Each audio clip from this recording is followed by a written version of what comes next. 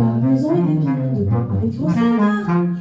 À cette joie, je te demande de voici la musique. La potion du bonheur est basique à partager. Au moment d'une pour toutes les peuples.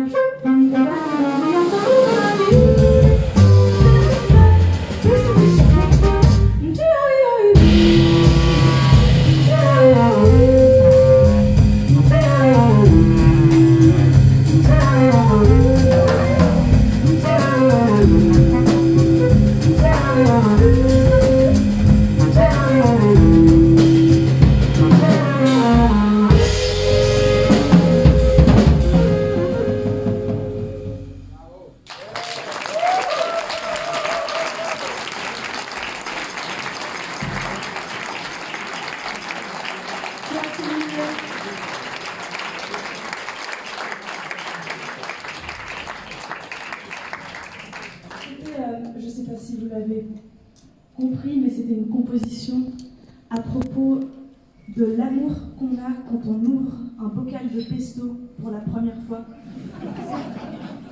Et ça fait ce son.